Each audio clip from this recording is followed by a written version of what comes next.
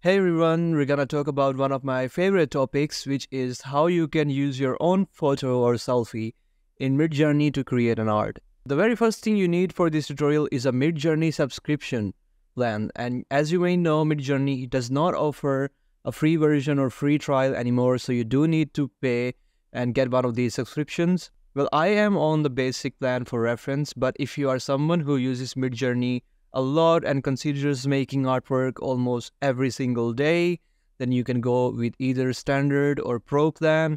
I don't think Mega is necessary for anyone unless your account is being shared by a lot of people who all generate an art. But regardless of that, either one of these versions will be sufficient for you to tag along and create your awesome artworks. The next thing you need for this is to open up your Discord account if you don't already have one and you can do so by heading over to the Discord website and then you can download Discord for your Windows or any operating system you're using and then you have to create an account and then log in into your Discord app just like I have done here. And then you simply come here on the Midjourney website and click on the join beta or if you have already joined the beta then you sign in and then if you tap on the sign in button it will simply open up discord and it will ask you some permissions. You simply click authorized and since i have already done that i am here and i have midjourney right here as you can see. And then once you head over to the midjourney discord server the first thing you will notice is the general tab. And on this left portion this is where you can generate your art basically in any of these general servers. But what I am going to show you is going to make things a lot easier for you.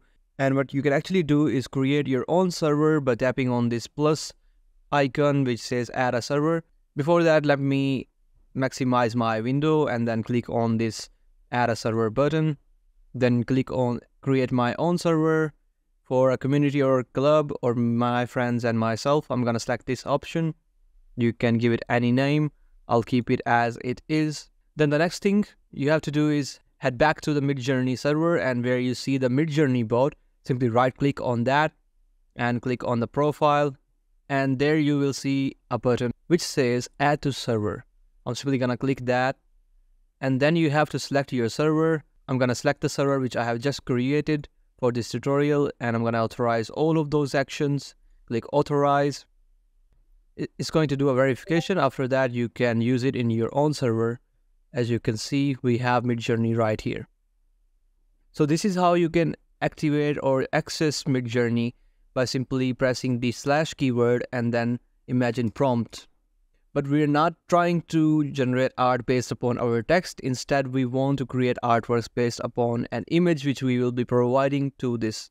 So how do we do that? Basically, we have to simply upload our selfie in this chat I'm simply going to drag over the image and then I'm going to press enter.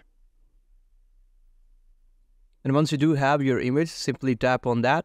Once it opens up, right click and it says copy link. Do that. All right, the next thing we have to do is press slash and imagine prompt. And here we will paste the link which we have just gotten from our image. And then we can write something we would like it to do with the image.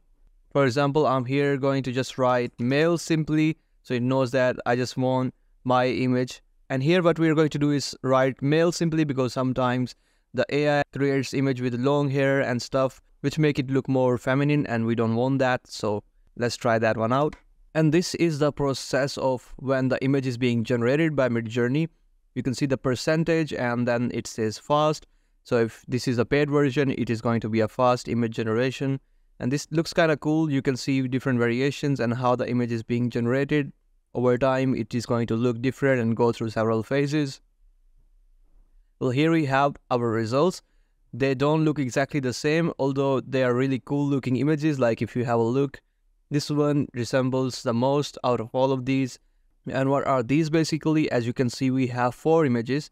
So these are references to one of these images, like U1 refers to version 1, and the U means upscale, meaning if you want a more refined version of that image, you can select U1, or if you want more refined version of this image, you can select U4, and V means versions, meaning if you want more versions of this image, you can select V1, and so on and so forth. Alright, now let's talk about why this is not resembling yourself or any image you have uploaded, and how we can fix that.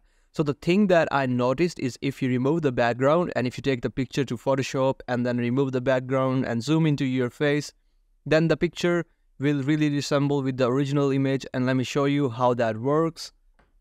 What I'm going to do is simply open Photoshop. You can use any photo editing tool for this purpose. You simply have to remove the background and add something like a plain white background in the image. So for this reference, I'm gonna use this image which I have here. I'm gonna use this tool to remove the background from my image. And as you can see, we don't have a background anymore. I'm gonna add a simple plain white background now.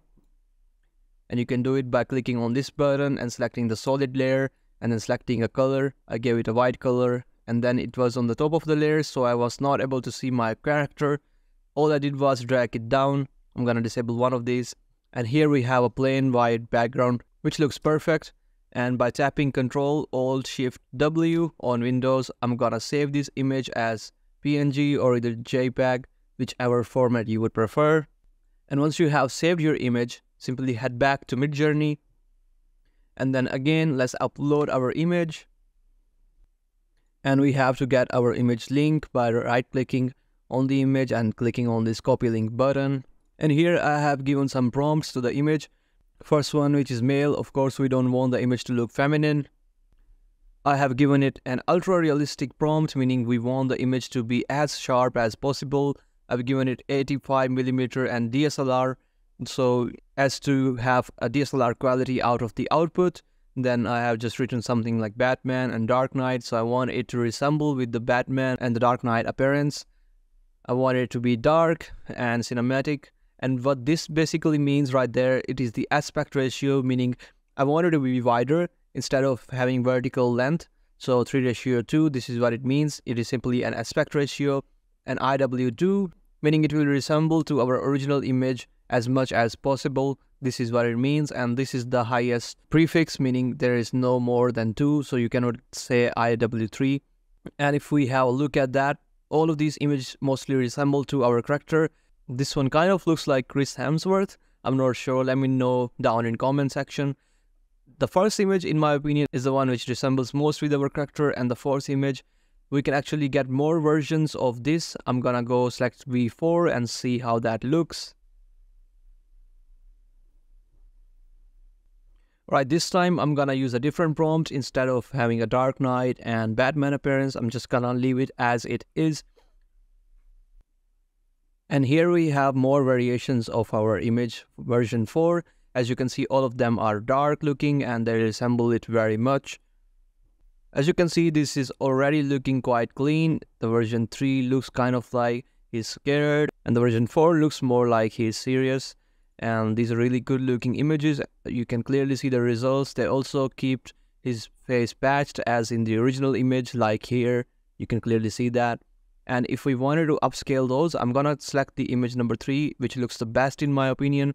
I would like to upscale the image three, so I'm gonna tap on U3 and see how that performs. As you can see, this is the upscaled image and it was quite fast. We already got the results. I'm also going to upscale the image number one from here, which looks best out of these in my opinion. So this is pretty much how you use this Midjourney AI to generate images from your selfies.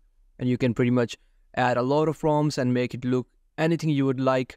For example, I made it look more like Batman and Dark Knight, which changed the vibe of the character and made it look specifically like how I mentioned and it looks really clean and neat.